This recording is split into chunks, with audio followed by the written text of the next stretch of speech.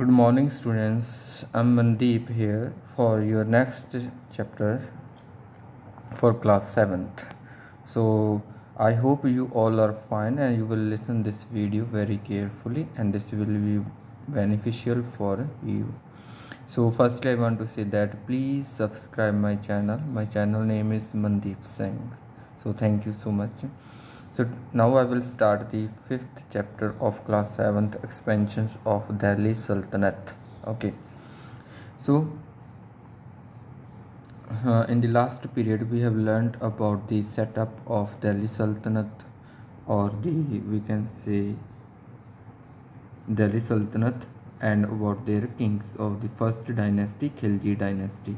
So now further we will learn about the other dynasties of uh, Delhi Sultanate. Okay, so learning outcomes Delhi Sultanate under the Khilji and Tughlaq dynasties, Timur's inventions and rule of the Sayyids and the Lodhis.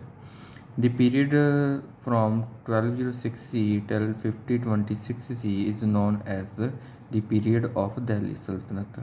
सो जो इतना वक्फा है जो time का, उसे हम दिल्ली सल्तनत का period कहते हैं। It start with the slave dynasty start हुआ था ट्वेल्व ज़ीरो सिक्स सी में। And followed by Khilji dynasty उसके बाद तुगलक डायनेस्टी आई, उसके बाद सैयद डायनेस्टी आई, उसके बाद लोधी डायनेस्टी आई। द स्लेव और Mamluk dynasty founded by Qutbuddin Aibak was the first dynasty of the Delhi sultanate ठीक है? जो कुतुबुद्दीन ऐबक द्वारा फाउंडेड की थी, गई थी मामलुक डायनेस्टी और स्लेव डायनेस्टी ये दिल्ली सल्तनत की पहली डायनेस्टी थी। और ये 1290 सीई तक रही और 1290 सीई में जलालुद्दीन खिलजी ने दिल्ली सल्तनत को दिल्ली को कैप्चर कर लिया और अपने आप को सुल्तान घोषित कर दिया declared himself as sultan.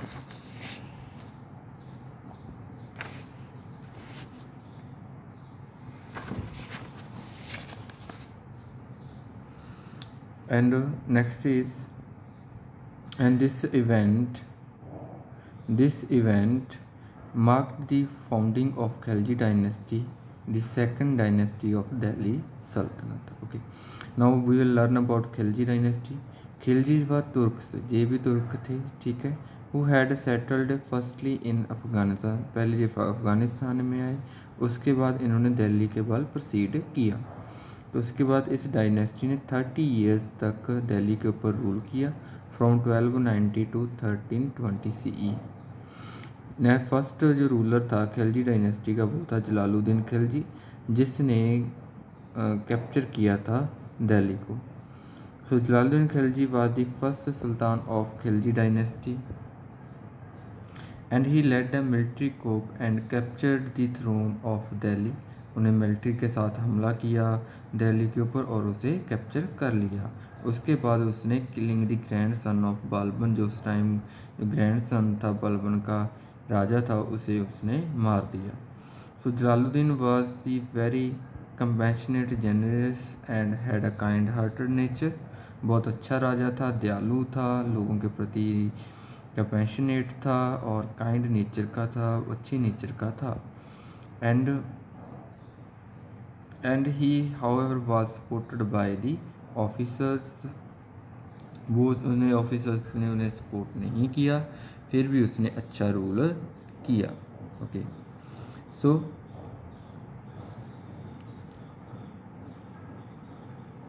Jalaluddin pardoned the rebellious nobles and try to establish peace ठीक है?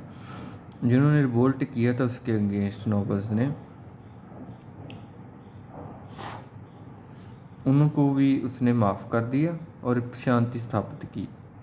मंगोल्स को भी उसने try to invade India nine twelve ninety two however they withdrew without a fight as Jalaluddin negotiated peace with them तो उन्होंने Mongols ने भी जलालुद्दीन के साथ पीस वाला माहौल रखा।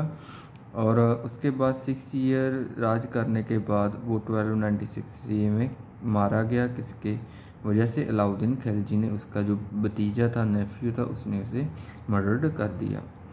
Alauddin Khilji ascended the throne in 1296 C he had won the sports of support of nobles by bribing them to his side उसने अपने नॉवल्स को रिश्वत दी और उन्होंने उनको सभी को अपने साथ कर लिया। Alauddin Khilji did not believe in Jalaluddin theory of benevolence benevolence means kind heartedness ठीक है? इस थ्योरी में वो दयालता की थ्योरी में वो विश्वास नहीं करता था। इसलिए उसने administrator shrewd administrator and is regarded as greatest Delhi sultanate monarch ठीक है? उसने ऐसा एडमिनिस्ट्रेटर स्थापित किया जिसके साथ वो दिल्ली सल्तनत का सबसे अच्छा किंग बन गया। ये अधेयर्ड टू बल्बन्स थ्योरी वो बल्बन थ्योरी के अगेंस्ट था। उसने फियर पैदा किया और स्पाई सिस्टम को रिवाइव किया। While continuing the efforts of Balban Khilji extended the control of the sultans beyond Delhi into peninsular India ठीक है? उसने पेनिनसुलर इंडिया तरफ़ भी अपने राज को एक्सटेंड किया। Gujarat, Rajasthan, Malwa modern day Maharashtra and the Deccan were either brought under his direct control और were compelled to accept Delhi's vassals ठीक है? तो जे, उसने इतना उन्हें अपनी टेरिटरीज़ को एक्सटेंड किया कि राजस्थान भी आ गया, उसमें महाराष्ट्र भी आ गया डेक्कन भी आ गया। ठीक है? इस तरह से सभी को मजबूर कर दिया उसकी अधीन अधीनगी प्रवान करने के लिए और उसने अपने आप को इस्टेब्लिश करने के लिए और उसने जीता भी कुछ इलाकों को जो उसका विरोध कर रहे थे। Alauddin Khilji unified the whole country and brought it under the control of powerful central government ठीक है? सभी को उसने यूनिफाइड किया, सारी कंट्री को और कंट्री में एक पावर का सेंट्रलाइजेशन किया और उस सेंट्रलाइजेशन की जो हैंड था पावर थी, वो जलालुद्दीन खिलजी सॉरी अलाउद्दीन खिलजी के हाथ में थी। Now this is Alauddin Khilji you can see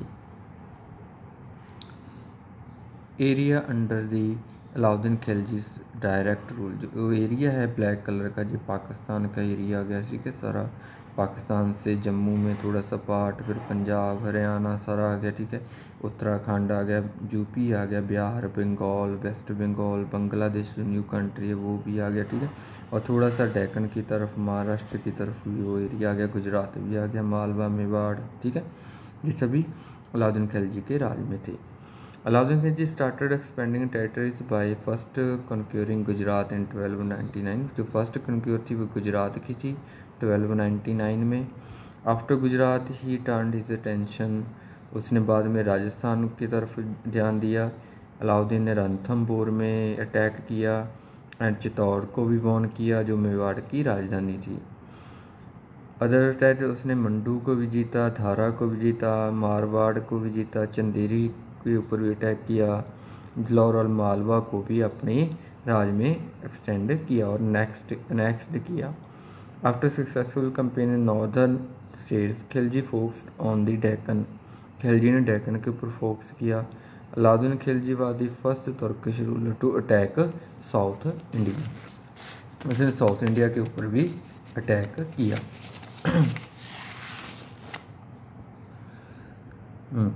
So Indian territories under the leadership of Malik Kafur his capable मिलिट उसका मालिक कफूर उसका कैपेबल मिलिट्री लीडर था उसने बहुत मदद की देवगिरी को वरंगल को दवाशा मुंडरा को एंड मदुराई वर डिफीटर ठीक है उनके डिफीट करने में with the conquest of many states in north and south India almost the entire Indian subcontinent was under the Khilji rule mostly ਜਿਹੜਾ ਕਹਿ ਸਕਦੇ ਹਾਂ ਕਿ ਇੰਡੀਆ ਦਾ ਜੋ ਰੂਲ ਸੀਗਾ ਉਹ ਖਿਲਜੀ ਦੇ ਅੰਡਰ ਆ ਗਿਆ ਸੀ। ਬਹੁਤ ਸਾਰੇ ਸਟੇਟਸ ਉਸਨੇ ਜਿੱਤ ਲਈਆਂ ਸੀ। Alauddin realize that it was not possible to effectively administrator such a large kingdom Alauddin Khilji ਨੇ ਮਹਿਸੂਸ ਕੀਤਾ ਕਿ ਐਡੇ ਵੱਡੇ ਕਿੰਗਡਮ ਨੂੰ ਹੈਂਡਲ ਕਰਨਾ ਬਹੁਤ ਹੀ ਡਿਫਿਕਲਟ ਹੈ।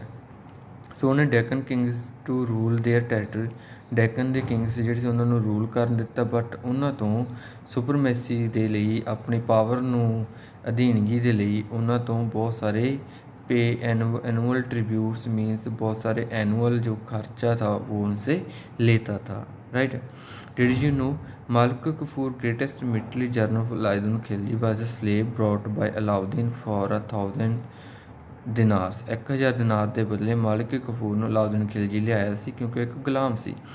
ਹੈਂਸ ਹੀ ਵਾਸ ਕਾਲਡ ਹਜ਼ਰ ਦਿਨਾਰੀ ਤੇ ਉਹਨੂੰ ਹਜ਼ਾਰ ਦਿਨਾਰੀ ਵੀ ਕਿਹਾ ਜਾਂਦਾ ਸੀਗਾ। He was the main face behind Alauddin's Deccan conquest ਉਹਨੇ ਅਲਾਉਦੀਨ ਦੀ ਬਹੁਤ ਮਦਦ ਕੀਤੀ ਦੱਖਣੀ ਭਾਰਤ ਨੂੰ ਜਿੱਤਣ ਦੇ ਲਈ। ਹੀ ਡਿਫੀਟਡ ਦੀ ਜਾਦਵਸ ਜਾਦਵਸ ਨੂੰ ਵੀ ਕੋ ਵੀ ਹਰਾਇਆ ਉਸਨੇ। ਕਕਾਟੀਅਸ ਕੋ ਵੀ ਹਰਾਇਆ। हराया हौसालाज को भी हराया पांड्यास को भी हराया he collect lot of wealth उसने बहुत सारा धन भी कलेक्ट किया from this conquest which he carry with him Delhi और उस धन को दिल्ली ले गया। So today for this enough so today for joining this video और watching this video, so i'm very thankful to you and please subscribe my channel. My channel name is mandeep singh.